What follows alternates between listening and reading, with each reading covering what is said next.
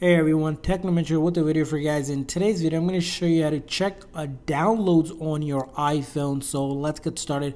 So when it comes to download, most likely you're downloading something from your messages or from the internet like Safari or any browser. When you're saving stuff, there's two main places you want to check for any downloads. First is going to be if it's a photo or a video, you can actually open it up and see under recent. If you have downloaded something, it will be right there.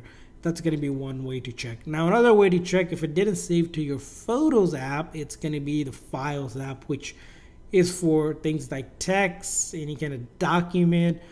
Sometimes even photos and videos get saved into your Files app. In order to see those downloads, you're going to click on Browse here, tap it until you see locations, and then from there on, you should see under Favorites here, Downloads. If you click on it, you can scan to see if there's the download that you're looking for and sometimes you might see it uh, in other folders. Depending on where you save it you want to check all of the folders.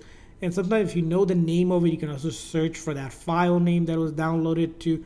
And if it doesn't show up in download sometimes if you have saved it sometimes it goes on a different location especially if you accidentally clicked on like iCloud or on iPhone. So I recommend checking the other folder one by one as well. But that's how you're going to be able to check for downloads on your iPhone I hope this video was helpful. If so, please do consider a like and subscribe button for more tips and tricks for your iPhone and other iOS devices. We'll see you guys next time.